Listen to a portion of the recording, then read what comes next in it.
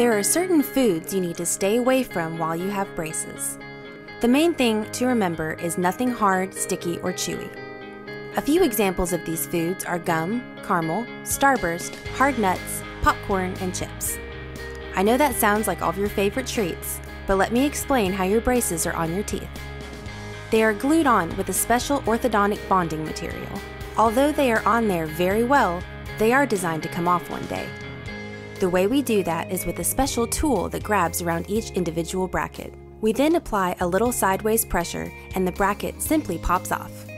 So, if you think about it, when you bite down into a large piece of food that is hard or crunchy, it will apply that same sideways pressure and you can pop off one of your brackets. If this does happen, call our office to schedule an appointment to come back to the office so we can rebond that bracket back on. These are called loose or broken brackets. Keep in mind, this is not an emergency as long as it is not causing you pain.